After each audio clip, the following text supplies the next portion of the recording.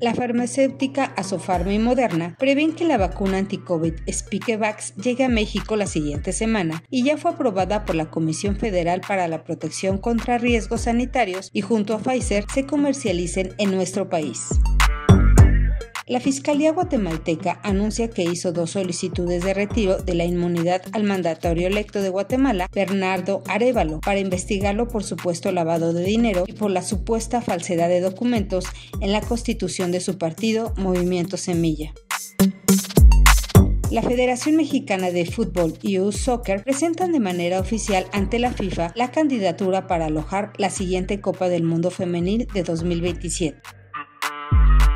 Lupita Nyong'o y Joshua Jackson son vistos tomados de la mano en California, Estados Unidos. Esto después de que se divulgara algunos rumores de que eran novios. Hace algunos meses, el medio TMZ reveló que salían en plan de pareja, después de que el actor de Dawson Creek terminara su matrimonio con la actriz y modelo Judy Turner Smith.